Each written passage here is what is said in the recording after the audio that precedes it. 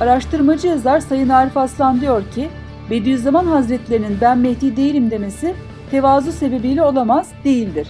Bediüzzaman gerçeği söylemiştir. Üstad Hazretleri şöyle ifade etmiş. Hazreti Mehdi'nin için fakat çiçekler baharda gelir. Öyle kutsi çiçeklere zemin hazır etmek lazım gelir ve anladık ki bu hizmetimizle o nurani zatlara zemin ihsan ediyoruz. zemin Yani. veriyoruz. Yani üstad e, sadece bunda tevazu yapmıyor bildiğim kadarıyla. Yani gerçeği de ifade ediyor. Çünkü Üstad Hazretleri benim okuduğum, tanıdığım en gerçekçi, belki e, tefsirini e, manevi tefsir olarak nitelendiriyorlar ama bence Kur'an-ı Kerim'in ruhunu bize aksettirmiş oluyor Üstad Hazretleri.